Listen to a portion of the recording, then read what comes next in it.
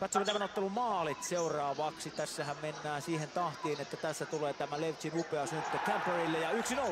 Joo, se oli hienosti peitetty syöttö loppuun asti ja siitä tuli Camperi aika helppo, helppo työ ottaa, kerkis ottaa vielä haltuun ja pistää siitä sitten kiekko maali. Upeasti tuo yhteen nollaan. Sitten tulee Petteri Puhakka ja kyllähän tämäkin on yhtä upea tämä Oiva Keskisen rystylätty tuonne ja ilmasta Puhakka laittaa kahteen nollaan. oli, oli hienosti kyllä ilmassa, ilmassa laitettu ja, ja tota, hyvä katko oli tapparat keskellä.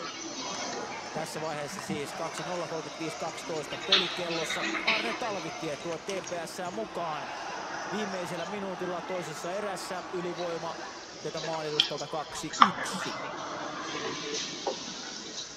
Tulee tähän tyyliin tuolta noin ja tämän jälkeen sitten itse asiassa tässä tulee jo tuo Otto Rauhalan tyhjiin 3-1, joka kyllä voidaan sanoa ottelun ratkaisu. Ja sen jälkeen sitten 4-1 se on Puhakka, joka siinä illan toisella maalilla lyö loppuluvut 4-1.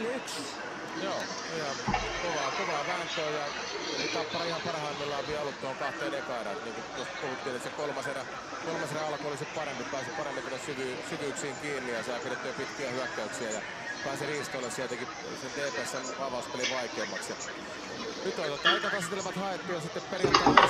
Kyllä, kyllä. Tämä oli vasta niin kuin alkusoittoa. Ja tässä sitten ää, tilanteet muilta paikkakunnilta. Kärpät on voittanut Jukurit 4-1 ja vaikuttaisi sille, että Lahdessa Pelikaas on ottamassa avausvoittoa. Siellä taitaa vielä kolme olla hiukan kesken. 4-2 Pelikaas johtaa Lahdessa, on viemässä avausvoittoa. Täällä siis Tapparalle avausvoitto 4-1.